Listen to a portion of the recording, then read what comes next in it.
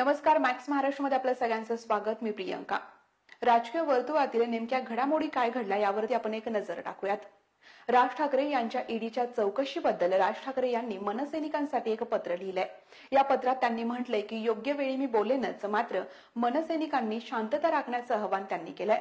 आणि एमआयएमच्या जागा वाटपावरनं अनेक वेगवेगळे प्रश्न उपस्थित राहत आहेत कारण वंचितनं काँग्रेसला एकशे चव्वेचाळीस जागांची ऑफर दिली आहे राष्ट्रवादीचे ज्येष्ठ नेते छगन भुजबळ यांची घर वापसी होणार अशा चर्चांना उधाण आलं होतं. मात्र छगन भुजबळ यांनी या सर्व चर्चांना आता पूर्णविराम दिला.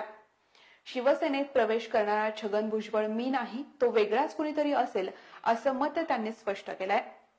स्वाभिमानी कोल्हापूरकरांना भिकेची गरज नाही असं म्हणत खासदार संभाजीराजे भोसले यांनी विनोद तावडे यांना चांगलं सुनावलं. मात्र विनोद तावडे यांनी आता याचे भावनिक असं उत्तर दिलंय. ही भीक नव्हे तर जिवाळ्याच्या लोकांनी केलेली मदत आहे असं म्हणत त्यांनी स्पष्टीकरण केलंय.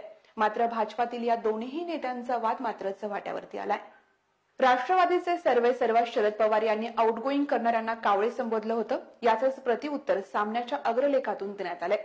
कधी कधी राजकारणात मजबुरी म्हणून पदरी पडलं तेच पवित्र झालं अशा धोरणानं वागावं लागतं. मग त्यामध्ये राजहंश असो किंवा कावळे असो माजी केंद्रीय मंत्री पी चिदंबरम यांनी आयएनएक्स मीडिया प्रकरणासंदर्भात दोन याचिका दाखल केल्या होत्या. मात्र या दोन्ही याचिका उच्च न्यायालयानं फेटाळल्यात. त्यामुळे पी चिदंबरम यांच्यावरती अटकेची तांगती तलवार तशीच आहे.